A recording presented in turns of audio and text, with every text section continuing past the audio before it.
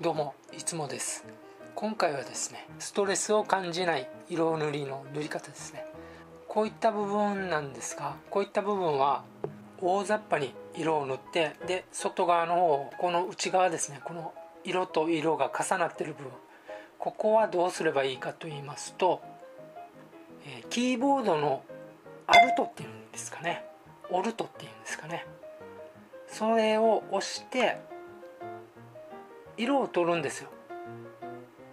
例えば自分の場合はここだったら指の色を塗りたいので、えー、肌色を取ります、はい、このように色を取ってでそれではみ出た部分を、消すんではなくて色を塗り重ねる。